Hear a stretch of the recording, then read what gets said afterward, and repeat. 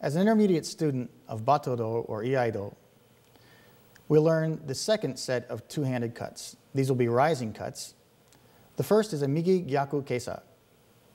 In Migi Gyaku Kesa, we assume a low Wakigamae. The left hand pulls the sword angular through the body from the bottom of the kesa through the shoulder. Extension and the turning of the body must be properly performed.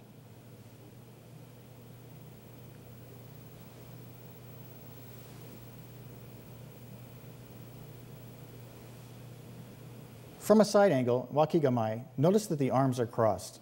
The kissaki is about knee high. The hips twist, and the sword continues to move forward throughout the entire cut. It never pulls back toward the body. The kissaki continues to move forward through the entire cut.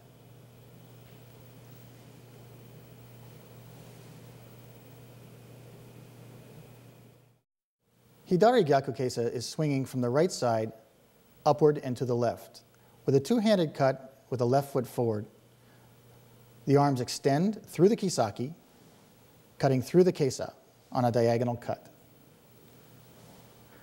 Notice the hips twist in the direction of the cut.